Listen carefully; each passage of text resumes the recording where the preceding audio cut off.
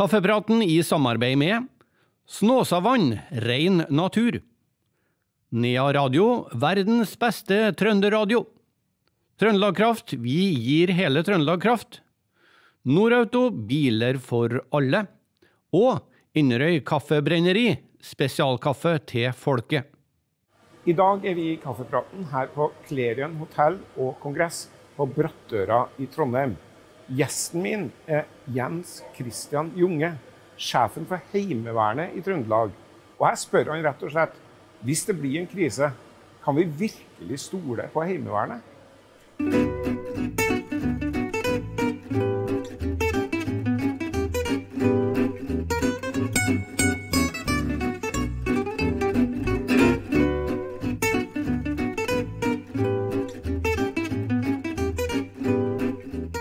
Jens Christian Junge, hjertelig velkommen hit til oss i Kaffepraten på Trønder-TV. Takk for det. Takk for at jeg ble invitert. Du er altså invitert hit fordi at du er sjefen for Heimevernet i Trøndelag. Uh, hvem er Jens Christian Junge? Ja. Eh, jeg er vel en ganske vanlig person. Eh, født og oppvokst på Vestlandet. Og flytta fra Stord når jeg var 19 år, og har deretter tilbrakt eh, livet mitt i Forsvaret. I ut- og innland og nord og sør i, eh, i Norge. Eh, men bosatte meg i eh, Trondheim for 20 år siden. Mm. Eh, men har aldri jobba i Trøndelag før. Eller det vil si en kort periode bare. Mm. Men har pendla og hatt familien min boende i, Trond i Trondheim. Mm. Med ei datter og eh, en eh, hustru. Mm. Og vi har egentlig hatt det så bra her at vi har ikke vurdert å flytte herifra igjen. Nei. Nei, det er noe med Trøndelag. Ja, det er det. Du, du fortalte meg når vi snakka i lag i forkant av alle intervjuet at du har vært i Etterretningstjenesten. Ja. Ja, Det, det, det, det er jo litt sånn eh, altså Jeg tror folk vet ganske lite om Heimevernet, men du vet jo enda mindre om Etterretningstjenesten. Altså, Hva, hva i all verden handla det livet om, da? Nei, det, jeg har jo hatt et flott liv i, eh, i Etterretningstjenesten, eh, og det ligger jo for så vidt i sakens natur at det er ikke så mye du, som du har lov å fortelle om. Mm. Men, eh, men spennende, viktig plass. Det har vært en veldig bra arbeidsplass for meg. Jeg har fått lov å jobbe med forskjellige ting som Og det handler jo om å skaffe informasjon, eh, analysere informasjon eh, og bidra til beslutningstakerne med eh, viktig informasjon som de kan eh, bruke når de tar avgjørelser. Mm. Men så ble det mulig å bli sjef for Heimevernet i Trøndelag, og det ville du. Det vil jeg. Det, det, for det første så er det jo selvfølgelig OK å få lov å flytte hjem, men eh, hovedsaken var jo jobbutlysninga og stillingsbeskrivelsen, eh, som jeg syns virka veldig interessant. Mm. Eh, litt fordi at eh, jeg definerer vel eh, I mitt virke så har det vært eh, hovedsakelig to forskjellige jobber. Enten så har du en sånn breddekompleksitet eller sånn dybdekompleksitet. Og jeg trives nok eh, best med breddekompleksiteten. Altså du har liksom ansvar for det operative, personell, eh, forvaltningen, økonomi. Altså som går litt sånn i bredden istedenfor å dukke ned og fordype seg i eh, et mye smalere spekter. Mm. Så, ja. Hvor mange HV-soldater har vi i Trøndelag? I eh, Trøndelag er jo det største distriktet i eh, kongeriket. Og vi har 5500 eh, kvinner og menn. Ja. Så det er, jo, eh, det er jo ganske formidabelt. Det er en, eh, det er en stor kraft. Mm. Og eh, det er 40 000 i Norge og 11 distrikter. Det er delt opp i distrikter. Eh, og eh, vi deler distriktet opp i eh, områder igjen. da. Mm. Så vi har eh, 5500 kvinner og menn fordelt på 27 eh, områder. Mm. Eh, de som har vært inne i Forsvaret, ville kalt det kompanier. Mm. Eh, og så har vi en innsatsstyrke. Det er en eh, styrke som trener eh, noe mer, eh, har bedre utstyr og kortere reaksjonstid. Mm. Men, men jeg tenker jo det at eh, jeg tror jo de aller fleste nordmenn har et forhold til at det er noe som heter Heimevernet. Eh, og de aller fleste av oss kjenner vel noen som sier at nå kommer jeg ikke på jobb noen dager, for nå skal jeg på heimevernsøvelse. Ja. Eh, men, men, hva i all verden er oppgaven og rollen til Heimevernet i, i Norge i dag, 70-80 år etter andre verdenskrig? Eh, eh, datoen er jo ganske altså Årstallet er 75 år, mm. fordi vi har bursdag i år og mm. feirer mm. jubileum. Mm. Eh, og 6. desember er faktisk eh, det vi, liksom, er den vi feirer.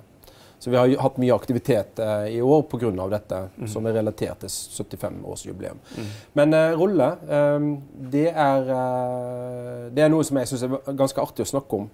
Fordi vi skiller på en måte roller litt mellom fred, krig, eh, eller krise og krig. Mm. Um, begrepet totalforsvaret er veldig lett å gripe fatt i. da, fordi mm. at vi inngår på en måte i, i, det forsvaret av Norge. Og Det er jo ikke HV alene, eller Hæren alene, eller Sjøforsvaret. Men uh, vi har jo Hele samfunnet, hele Norge har jo et ansvar i dette. Mm. mm. Men i fredstid, så, og det tror jeg er viktig, jeg tror det er viktig at eh, vi som er på en måte i hele Norge, med 27 områder, så er vi jo representert i alle de 38 kommunene i, i, i, i eh, Trøndelag. Mm. Og jeg tror at mange ordførere er glad at det er en sånn en sikkerhet at de har oss. Mm. Og så er det en alvorlighetsgrad nok, og eh, forholdene ligger til rette for at vi skal utøve bistand, mm. så er jo vi eh, klare på kort tid med ganske stort volum av mennesker. Mm. Og så har vi lokalkjennskap, som oftest er der vi opererer. Så dette er jo noe som, eh, ja, som jeg tror at eh, de fleste ordførere som jeg har snakka med, i hvert fall, er veldig fornøyd med å ha den kapasiteten tilgjengelig. Mm. Så har du jo i en eh, krise Dette er jo fredstid. Eh, der kan det være leteaksjoner. Det kan være uh, Gjerdrum er et godt eksempel. Mm. Det kan være vi, vi, diskuterte hva vi kunne støtte til med under korona. Vi har stått på grensa. Vi har stått 326 dager på rad mm. på grensa. Vi har hatt over 10 000 hoveddøgn bare i Trøndelag. Mm. Så Nils Kristian Moe, eh, politimesteren, sier jo at uh, dette er jo ikke noe de kunne klart alene. Mm. Det hadde de kanskje, men uh, det hadde i hvert fall blitt mye mindre politiarbeid på andre ting, vil jeg tro. Mm. Uh, så det er jo sånn eksempel for fredstidsting vi kan gjøre. Mm. Og Hvis du da går inn i en krise, en, en, hvis det er en naturkatastrofe og sånne ting, så, så, vil jo det være innenfor samme sjanger. At vi kan stille med trenermannskap, organisert, med ledelse, erfaring, utstyr. Vi har det som vi kaller stridsutholdenhet. Altså vi kan holde på lenge uten at vi må rotere folka våre. Men hvis du går inn i en sikkerhetspolitisk krise, så er jo hovedansvaret vårt det å sikre det vi kaller for nøkkelobjekter, som er alle objekter som går på da For å kunne opprettholde militære operasjoner. Altså, vi har jo forhåndslager i Trøndelag. Mm. Beskytte de. Mm. Vi har Ørland flystasjon. Mm. Hjelpe til å beskytte den. Uh, vi har uh, infrastruktur, annen infrastruktur som er viktig, f.eks. E6-en, jernbane og sånne ting. Og så har vi uh, det som vi kaller for politiobjekter, som òg vi har et ansvar for. det er å støtte politiet. Det kan være kraftstasjoner, eh, andre ting, for å sørge for at samfunnet fortsatt kan fungere tilnærmet normalt, og ikke blir enten sabotert eller satt ut eller ødelagt. Mm. mm. Det er på en måte vår rolle da, i en krisesituasjon. Mm. Og, eh, og, dette vil jo bare dra på seg da, hvis at krisen utvikler seg mot en, en væpna konflikt, f.eks. Mm. Mm. Hvem er den her typiske HV-soldaten i dag, da? Det er alle. Mm. Uh, det, jeg tror ikke det er noe som heter typisk HV-soldat. Uh, mm. Men det som uh, jeg opplever når jeg er rundt, er at det er veldig sånn um, engasjement og motiverte og reflekterte for det de driver med. Og Spesielt har jeg jo sett det når jeg har vært på grensa. Mm. Jeg har vært ganske mye på grensa og besøkt grensestasjonene vi har hatt folk på under, under pandemien. Mm. Og de er veldig eh, bevisst på hvorfor de er der, og, og, motivert for å løse den oppgaven som vi satte. Da. De tar liksom det samfunnsansvaret. Mm. Og Det opplever jeg når jeg er rundt og ser på, hører på treningen og snakker med folk òg. At de har veldig sånn eh, De skjønner hvorfor vi holder på med dette. Mm. Og, så, eh, og hvem det er, det er alle samfunnslag og alle yrker og utdanninger. eh, og jeg blir, jeg blir overraska hele tida når jeg spør hva, hva driver du med, og da er det alt ifra eh, ene enden av skalaen til den andre skalaen i forhold til utdanning og eh, hva en jobber med osv. Mm. Eh, og mange gode eh, diskusjoner og lærerike diskusjoner når jeg spør folk hva de, eh, hva de driver med, Mm. og som er veldig interessant å høre, få lært litt mer om det. Mm. Så eh, det er et vidt spekter av mennesker. Og du, og du tenker det at i en krigslignende situasjon, da, at så tenker jo, Jeg tenker jo det at eh, ja, det er jo veldig vanskelig å se for seg hvordan en, en krig i Europa ville ha utspilt seg med alt det som finnes av kapasiteter i dag. Men, men man ser jo for seg at den vil bli høyteknologisk. Den? Den vil bli, du, du vil møte en, en motstander som er, er, er veldig utrusta, veldig langt fremme på ja, all mulig slags teknologi. Altså Vil, vil den her liksom skal skulle si, bakeren som da plutselig slipper deigen og sprenger ut og er, er HV-soldat, vil, det ha noe betydning? Vil vi evne å kunne eh, møte der, eller er en illusjon vi har bygd? Um, nå skal jeg ikke gå inn på liksom helt sånt scenario, for det vet vi jo ikke. Vi vet jo egentlig ikke hvordan en, en uh, storkrig vil se ut hvis det kommer en storkrig. Uh, men hvis vi er i et sånt scenario med, med krise, og det at vi skal beskytte ting, og det som går, som, som jeg tenker, I forhold til terskelforsvaret, da, så er alt vi har av forsvar og samfunnsinstitusjoner som er med å på en måte forsvare Norge, det er en del å legge terskelen høyere. så vi kan, vi kan være selvhevdende, vi kan mene hva vi vil, vi trenger ikke bli utsatt for press osv. Mm. Og med 40 000 kvinner og menn med, med maskinpistol, med HK 416, Mm. så vil jo det gjøre en forskjell på altså Noen vil jo tenke seg to ganger om før de gjør noe med Norge. Mm. Og det tenker jeg vi, vi ser når de eh, eh, invasjonene og de operasjonene vi har hatt i utlandet. Så har jo invasjonene for så vidt, og starten av misjonene vi har hatt, enten i Afghanistan eller i Irak når vi, når vi gikk inn der, har jo for så vidt gått ganske greit når det store militære toget kommer rasende inn. Men problemet blir jo etterpå, når Mm. du skal lage, bygge sikkerhetssoner, du skal skape stabilitet. og Det er jo bl.a. fordi at det er mye våpen blant folka. Det er altså en, en motstand eh, i landet.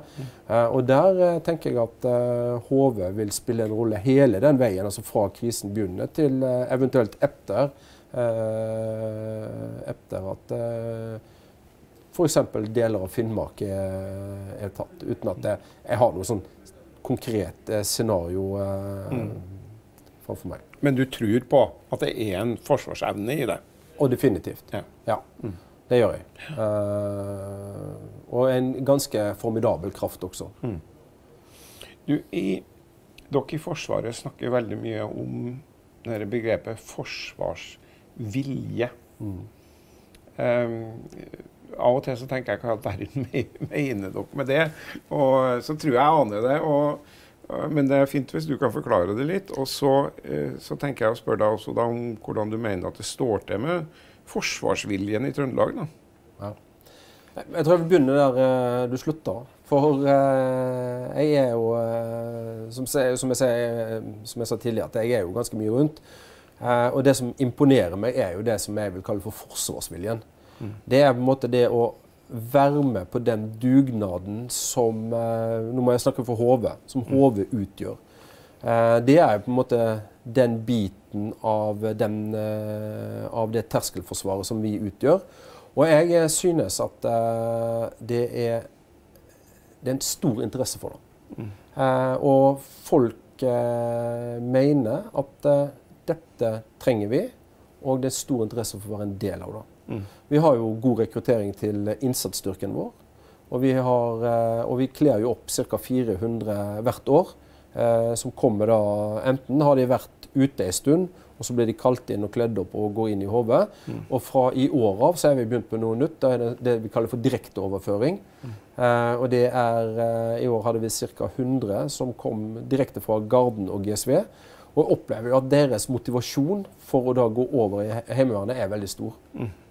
Så eh, jeg vet ikke om jeg greier å definere helt hva forsvarsviljen er, men det å være med på den dugnaden Mm. og, som HV utgjør, det å være med og så ha etablert en del av det terskelforsvaret som jeg, som jeg nevnte tidligere, Mm. det tror jeg er litt betegnende for hva som er forsvarsviljen. Også at, at Norge altså liksom anerkjenner at vi lever i et fantastisk flott land der vi har eh, ja, vi har et eh, velfungerende demokrati, vi har et samfunn som fungerer. Og det er jo klart det er verdt å ta en liten eh, dugnadsinnsats for. da. Hvis, hvis du skal prøve å eh, ta meg med inn i hverdagen din, da, eh, Jens Kristian. Eh, altså, hva, hvordan, er, eh, hvordan er hverdagen for en HV-sjef? Altså, hva, hva bruker du tida di på? Den er i hvert fall ikke lik hver dag. Mm. den er forskjellig. Men nå, nå har vi akkurat hatt en, eh, en eh, travel, det som jeg kaller for en travel høst. Um, og eh, da har jeg vært rundt. Jeg har besøkt eh, 26 av de 27 områdene vi har under trening.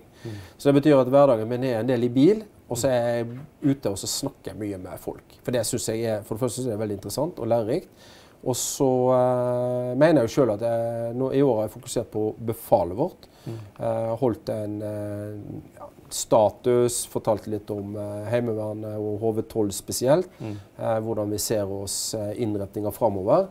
Det tror jeg er viktig for å opprettholde liksom, motivasjonen blant befalet vårt. Um, så det har jeg brukt mye tid på i høst.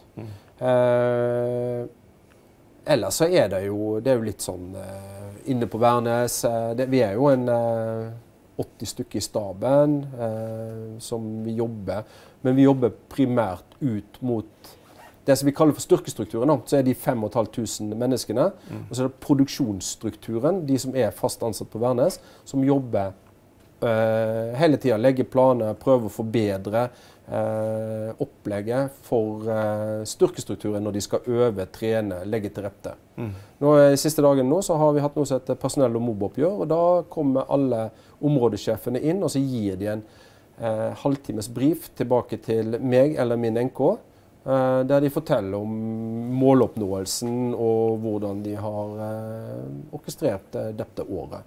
Og Det er liksom personelloppfyllingsgrad, materielloppfyllingsgrad osv.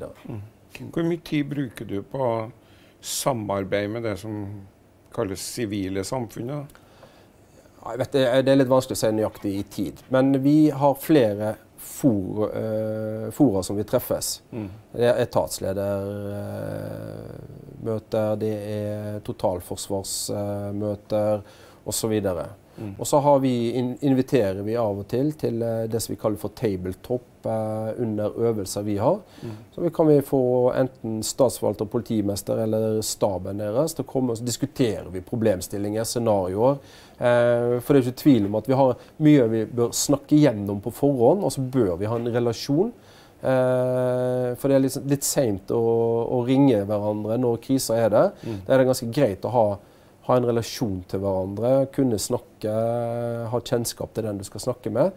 Um, for eh, vi kaller det jo for et, eh, et viktig eh, triangel. Det er jo statsforvalter, eh, politiet og, og Heimevernet. Eh, og så har vi et samarbeid på distriktsnivå. Og så er det et, eh, i mange kommuner et godt samarbeid på kommunalt nivå. Der områdesjefen, ordfører eller kommunen og politikontakt eller politiliaison eller lensmann eh, inngår i en sånn beredskapssetting. Eh, og det siste er vel kanskje det viktigste, for det er jo der massene er, og nærhet til, til å løse problemene. Du, jeg tror eh, veldig mange trøndere husker tilbake i, eh, til 2018. Eh, da hadde vi en øvelse som jeg tror kaltes noe sånt som Trident Juncture. Og den fikk vi i grunnen med oss. at vi, at vi hadde, ja, Da var det bl.a. veldig store styrkedemonstrasjoner ute på Bynes her. Ja. Eh, og så leste jeg det her at nå skal du til igjen. Eh, da skal du nå til vinteren ha en eh, øvelse som heter Cold Response Ja. 22. Ja. Blir, det, blir det samme huskestua en gang til i Trøndelag nå, eller? Nei, det gjør ikke det. Eh, disse store øvelsene de eh, velger enten nord, midt eller sør eh, i Norge, eller eh, to av delene, som sine hovedøvingsområder. Mm. I år så er hovedøvingsområdet i nord. Og så er det litt, litt grann aktivitet i sør. Og så er det alltid noe i eh, Trøndelag, og det er fordi at vi har eh, forhåndslager, eller de fremskutte lagrene.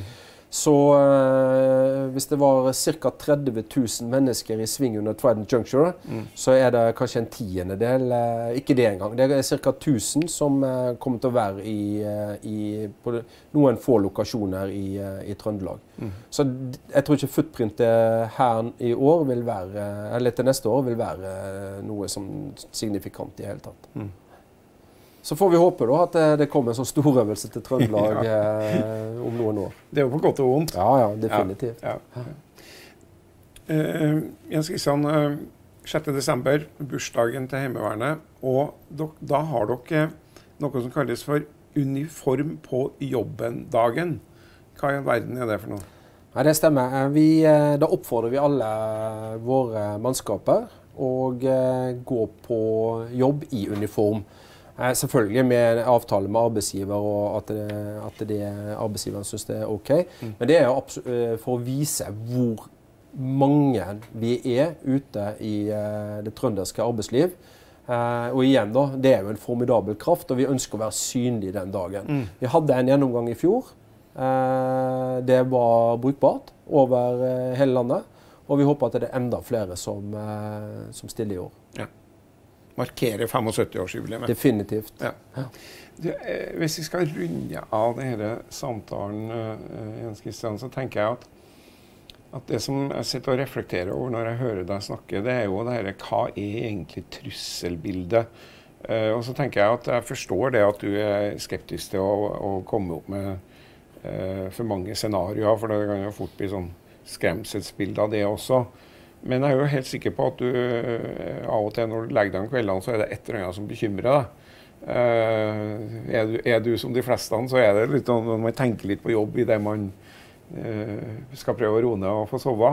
Altså, eh, hvis du tenker på trusselbildet i stort, da. Hva er det, hva er det som Hva tenker du er liksom det, det som ja, bekymrer deg, for å bruke det begrepet? Ja, jeg, jeg vet ikke om jeg skal si at det bekymrer meg, men eh, vi har jo noen sånne scenariobeskrivelser. Eh, og så er det jo mange fasetter, det er mange punkter i dette. Det går jo på cyber, det går på eh, altså Det er mange måter å påvirke Norge på, eller prøve å påvirke Norge på. Men hvis jeg leser rett, så er du litt sånn eh, ute etter det hardcore-biten, den militære biten. Og da er, da er det jo på en måte når eh, Det mest vanlige brukte scenarioet er jo at eh, dersom det, det, er det er jo en, det er en utfordring å ha en stormakt som nabo. Stormakter de gjør jo som de vil. Det var en som sa en gang at alle tenker på seg, det er bare jeg som tenker på meg. Mm. det gjelder jo i, i politikken og i, i stormakt. mm. stormaktens utøvelse av makt òg. Og Hvis de setter f.eks. bastionforsvaret, eh, det er da å kontrollere, eh, for å si det enkelt, Nord-Atlanteren og Barentshavet, og hindre at allierte kommer inn der, fordi at de ønsker å beskytte det de har av eh, strategiske våpen eh, på Cola og ubåtene sine og den biten der. For å gjøre det effektivt, så må de ha kontroll på deler av Norge, deler av Nord-Norge. Og det er flere måter å ta kontroll på Norge, eller ha, tro de mener at å ha kontroll på Norge. Det er ikke sånn at de må gå over grensa. Det er på en måte ett scenario. Men eh, i den, eh, med en gang de på en måte føler behovet for å sette det bastionforsvaret, så er jo vi i hvert fall på vei inn i en konflikt med, med Russland. Og det, det er på en måte den hardware-biten av det. Eh, det betyr ikke så mye, nødvendigvis så mye at eh, vi vil legge merke til det her i, eh, i Trøndelag. Eh, jeg tror ikke noe på at det, vi vil se eh, troppeforflytninger ned mot Trøndelag og sånne ting. Det er min personlige mening. Men det vi kan få, er jo eh, det at de ønsker å ødelegge viktige ting eh, i Trøndelag. Eh, driver med subversjon for å undergrave myndighetene. Driver med sabotasje, økt etterretningstrussel. Eh, så det, og det er jo ting som vi da ønsker å støtte og motvirke gjennom Heimevernet f.eks. Så, eh, så det er ganske mange eh, måter et annet land kan påvirke et annet eh, nabolandet sitt på. Eh, og det er jo det vi prøver å ha litt sånn eh, en formening om. da. Og så finnes det alltid nye metoder og, og nok, å, nok å prøve å sette seg inn i. Men jeg hører jo det at når jeg sitter og snakker med deg, så, så jeg blir jo litt beroliga Uh, over at Heimevernet finnes. Da. Det høres ut som du har en struktur her som faktisk øh, kan bety noe, enten du bor her i Trondheim eller at du bor på, på Frøya eller en, en, av de mindre distriktskommunene i, i Trøndelag. Så vet, du at, så vet jeg nå i hvert fall at det finnes et HV overalt. Det gjør det. Overalt. Alltid er jo mottoet vårt, og det lever vi opp til. Ja. Definitivt. Jens Kristian Junge, tusen takk for at du tok deg tid til å komme og drikke kaffe med oss her i Kaffepraten på Trønder-TV. Takk for at jeg fikk komme. Det var hyggelig.